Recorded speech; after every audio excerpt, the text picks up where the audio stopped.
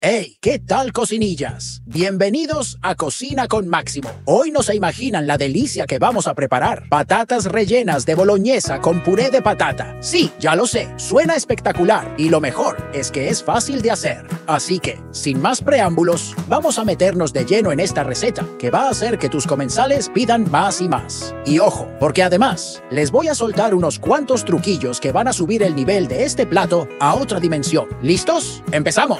Lo primero que haremos son nuestras patatas. Agarra cuatro buenas patatas, del tamaño que te guste, y con un tenedor, pínchalas como si le debieras dinero. Eso es. Ahora, directo al horno a 200 grados por unos 30 o 40 minutitos o hasta que estén tiernitas. Un truco aquí, si las pinchas bien, se cocinan más rápido y no explotan en el horno. Nada de patatas voladoras. Mientras las patatas están en su sauna personal, nos lanzamos por la boloñesa. En una sartén grande, echamos 500 gramos de carne molida. Yo uso carne de vacuno porque tiene un sabor increíble, pero si prefieres otra, no hay problema. Echamos sal y pimienta al gusto y doramos bien la carne. Consejo de chef, no la muevas demasiado o se te cuece en vez de dorarse. Cuando ya esté doradita y con ese olorcito que da hambre, la sacamos y la reservamos en un bol. En la misma sartén agregamos un poquito más de aceite de oliva si hace falta y metemos una cebolla picada bien fina junto con un pimiento rojo, uno verde y una zanahoria bien picaditos. Ah, y no te olvides del puerro, todo bien picado. Y si te gusta el toque picante, añade unos jalapeños. ¡Pum!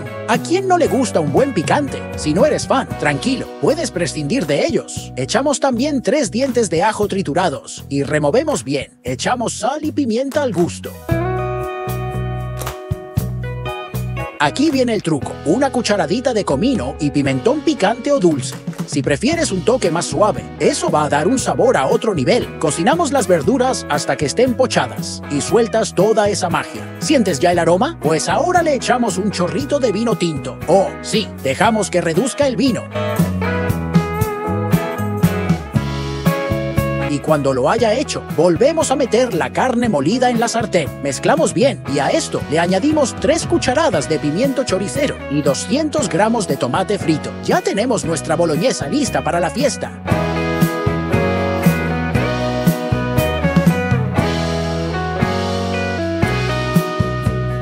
Ahora volvemos a nuestras patatas. Las sacamos del horno y vamos a cortarles una tapa, como si estuviéramos abriendo un cofre del tesoro. Con una cuchara vaciamos el interior con cuidado de no romperlas, porque las vamos a rellenar. Ahí está la magia. Rellenamos las patatas con nuestra boloñesa deliciosa.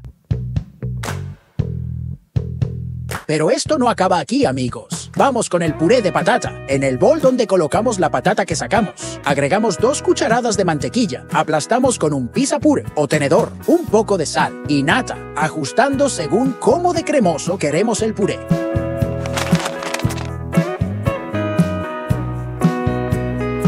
Lo colocamos en una manga pastelera y con mucho arte lo ponemos por encima de las patatas rellenas. Para terminar, cubrimos todo con queso rallado. Consejo, usa un buen queso que gratine bien, tipo mozzarella o cheddar. Metemos las patatas en el horno otra vez y cuando veas que el queso está bien gratinado, las sacamos. Espolvoreamos un poco de perejil picado para darle ese toque final. Y voilà, plato terminado. Cuéntanos en los comentarios de qué ciudad o país nos estás viendo. Queremos saberlo. Y si tienes alguna receta en mente que quieres que Máximo prepare, déjala en los comentarios. Máximo siempre cumple. No olvides suscribirte, darle al like, que es gratis. Y así no te pierdes ni una receta, porque en Cocina con Máximo, la comida siempre es una fiesta. Que aproveche, cocinillas. Esto está de rechupete. Ahora, nos vemos en la próxima receta.